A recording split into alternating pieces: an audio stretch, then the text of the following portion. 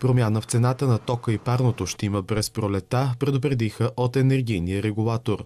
Който следи цените на енергоносителите, природен газ, електрическа енергия, той знае, че тези цени растат. След приключване на мораториума, те трябва да бъдат калкулирани в цената, която трябва да заплатят българските потребители. Колко точно ще ни струва скока в цената, ще е ясно дни преди изтичане на мораториума. Според властта обаче такава тенденция не е на лице. Не смятам, че ще има драстичен а, скок в цената на електроенергията или на топлоенергията. Според нас има значителни резерви в разходната част на дружествата и а, очакваме един нов състав на КЕВР в координация с правителство да успее да открие тези а, завишени разходи. Иванов допълни още, че обвиненията на Кирил Петков към Комисията за енергийно и водно регулиране за умишлено вдигане на цените на тока показват или неинформираност, или некомпетентност. Изчаках близо 20 дни е, премиера Петков е, да е, спре с тези обвинения, а дори и да си извини, да прочете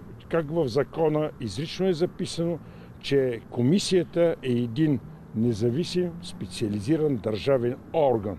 А в понеделник енергийният регулатор ще търси заедно с дорителния министр механизъм за подпомагане на ВИК дружествата. Риск от фалити обаче няма.